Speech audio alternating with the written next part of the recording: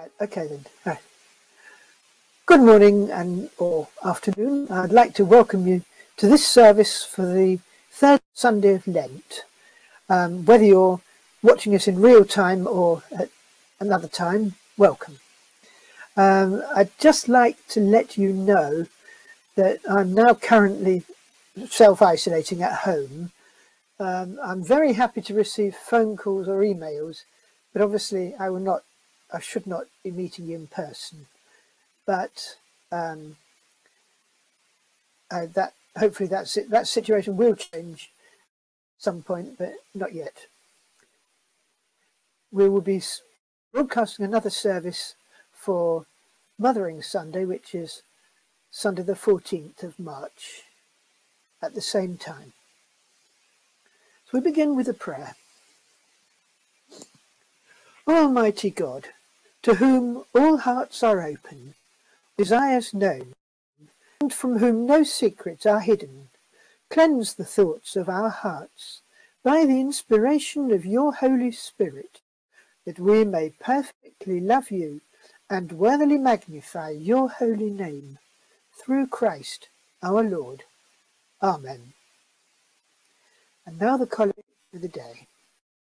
Almighty God, whose most dear Son went not up to joy, but first he suffered pain, and entered not into glory before he was crucified. Mercifully grant that we, walking in the way of the cross, may find it none other than the way of life and peace, through Jesus Christ, your Son, who is alive and reigns with you, in the unity of the Holy Spirit, one God, now and forever. Amen. Reading today is from Exodus 20. It's the Ten Commandments. Um, I'm not at, it's Exodus 20, verses 1 to 17. Um, it's quite a long reading, and I suggest you read it at your leisure. Um, however, for people who are worried about the Ten Commandments, I've got a very simple thing to say. Um, you don't actually have to know them off by heart.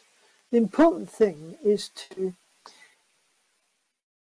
stick to the basic principles. And this Jesus' summary of the law was love the Lord your God with all your heart, strength, and mind, and your neighbour as yourself. On these two commandments hang all the law and the prophets. So really, Jesus was giving us a summary, which means even if you can't go each commandments, if you stick to those principles that Jesus reminds us and quotes from the Old Testament, you will find that you are observing the law. I'm now going to move straight to reading from Paul's first letter to the Corinthians. The message about the cross, is foolishness to those who are perishing, but to those of us who are being saved, it is the power of God. For it is written, I will destroy the wisdom of the wise, and the discernment of the discerning I will thwart.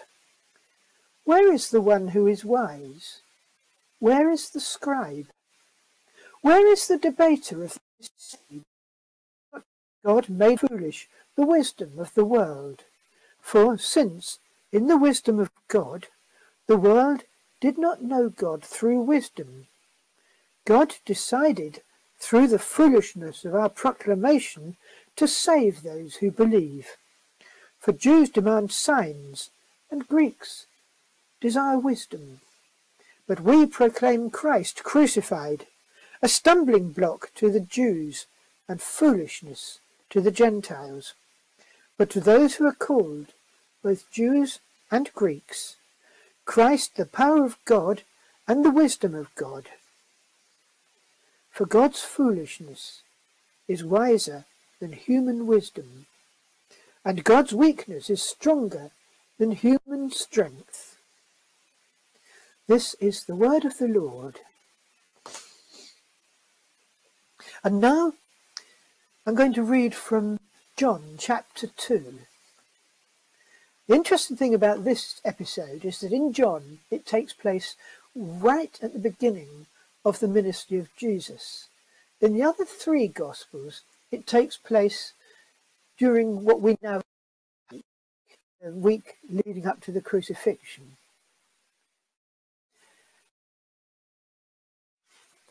The Passover of the, the Passover of the Jews was near, and Jesus went up to Jerusalem. In the temple he found people selling cattle, sheep, and doves, and the money changers seated at their tables. Making a whip of cords, he drove them all out of the temple, both the sheep and the cattle. He also poured out the coins of the money changers and overturned their tables. He told those who were selling doves, Take these things out of here. Stop making my father's house a marketplace. His disciples remembered zeal for your house will consume me. The Jews then said to him, What sign can you show us for doing this? Jesus answered them, Destroy this temple. In three days I will raise it up. They then said, This temple has been under construction for forty six years, and you will raise it up in three days? But he was speaking of the temple of his body. after he was raised from the dead. The disciples remembered that he said this, and they believed the scripture and the word that Jesus had spoken. This is the word of the Lord.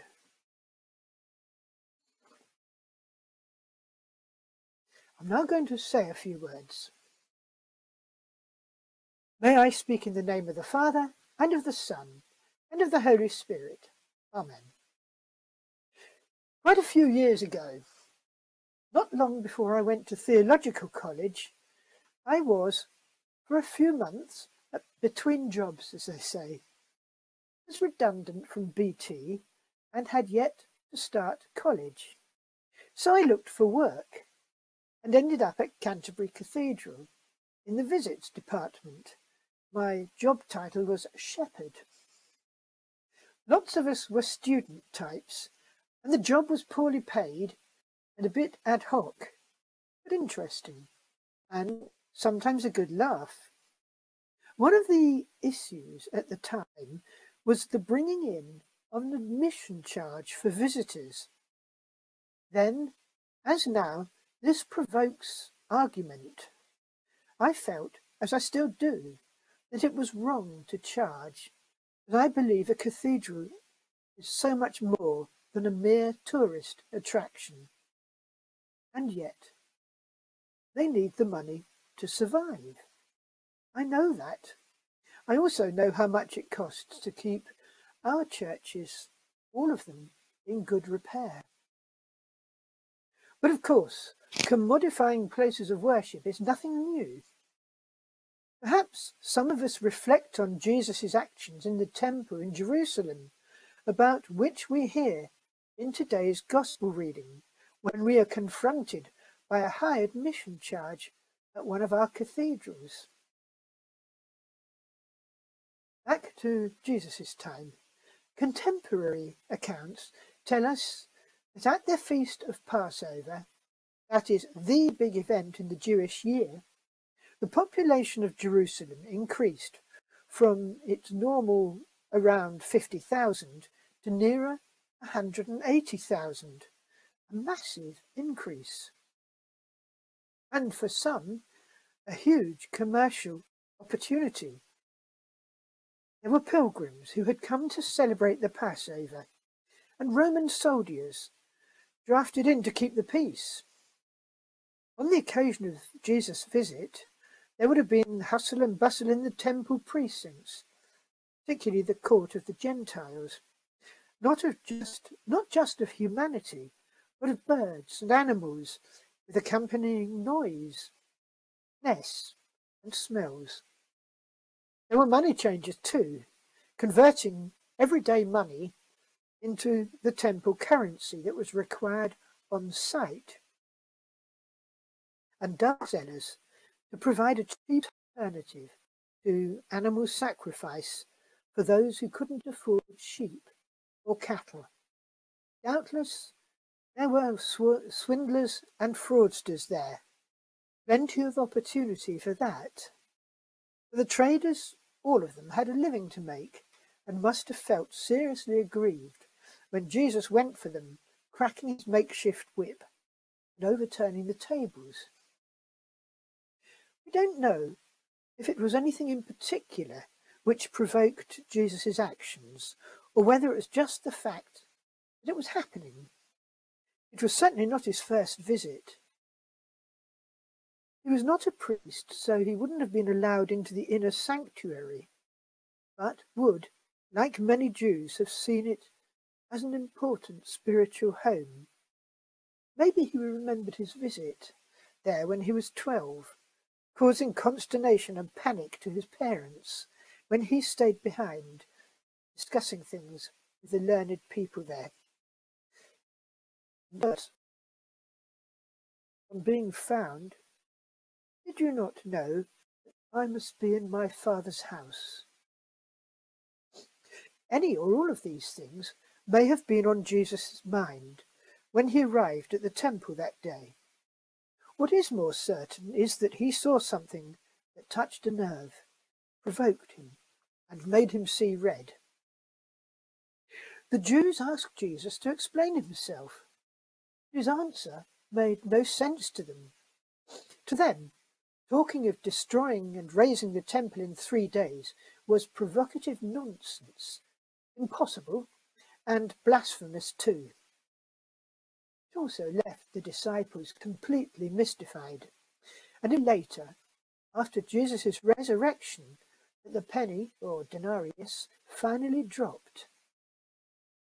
Jesus had been speaking of the temple of his body being raised up after three days. So, on one level, these words were a direct prediction of his death and resurrection, and it is telling indeed that not so many years after Jesus said them, these words, the temple was indeed destroyed, never to be rebuilt. This event totally altered the nature of Jewish worship. But Jesus also speaks of his body, which he sees as his followers, the church, us. And like any body, it can become defiled. We can worship God with our lips. We can observe the rituals, but insult him by the way we live our lives. Perhaps that is what Jesus saw in the temple some of the activity going on there was an affront to God. This would be consistent with what we know about Jesus.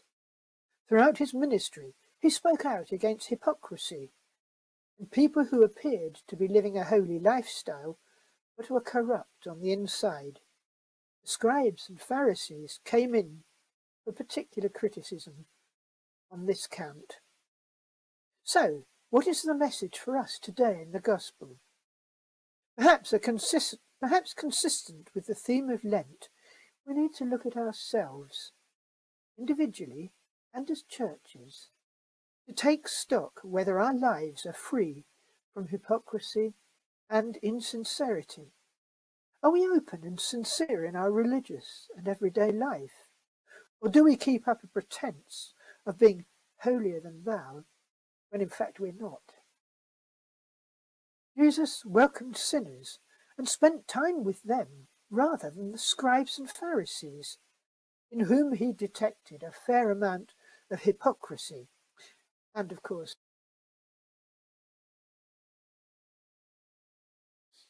failures. Perhaps we need to admit that we often fall short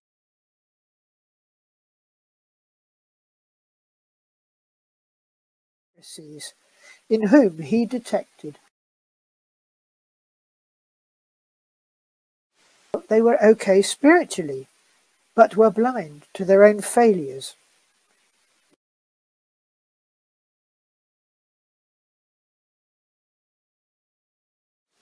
Otherwise, Jesus can do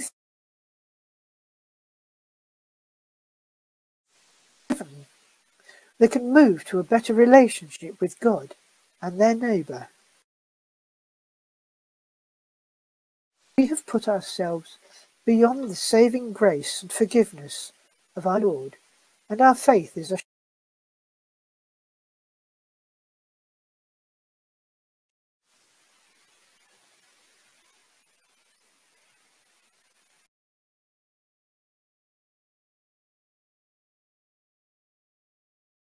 a time of prayer. Let us pray.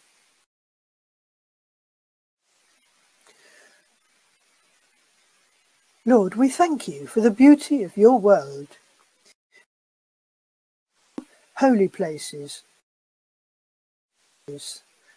Through them may we learn awe and respect for your good creation.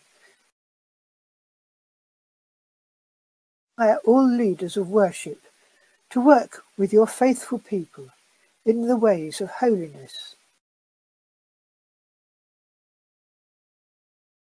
Done on earth as it is in heaven. We pray for all we live. Guide all who influence the minds of others, for teachers, We pray for all dealing with world, world trade, commerce, or in and will to use wisely what you have given to them. Lord, your will be done on earth. Thanks for all who have shared with us a sense of wonder.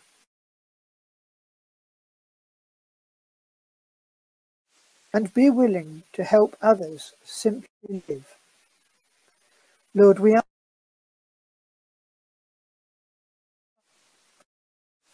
all who are homeless and those who work with them. As it is in heaven.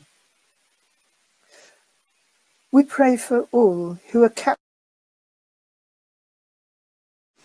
Remember those who suffer through the selfishness of others. Be a strength to all who are we pray for all who have lost their livelihoods during this most difficult time of pandemic or in pain at this time, for those working in caring for to our current health crisis. Lord, your will be done on earth Give thanks for all who have faithfully obeyed your will, for all who have worshipped you in the beauty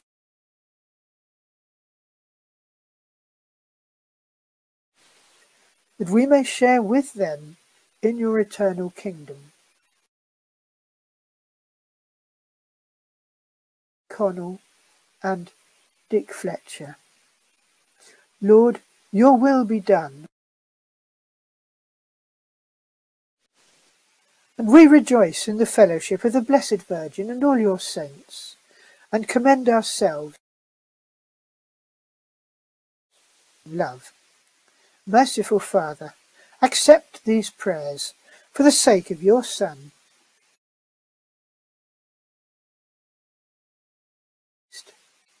Amen. Now we say together, art in heaven, hallowed be thy name. Thy kingdom come. Thy day our daily bread, and forgive us our trespasses, as we forgive those who trespass. But deliver us from evil. For thine is the kingdom, the power, Amen.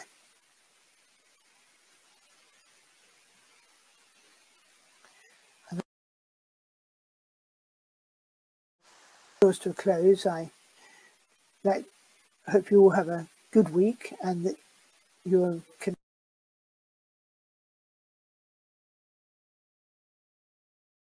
for the blessing. Merciful Lord, world, the flesh and the devil, and with pure heart through Jesus Christ our Lord. Amen. Christ, take up your cross and follow him, and the blessing of God Almighty and the Holy Spirit be among you and remain with you and all whom you love and for whom and forevermore. Amen.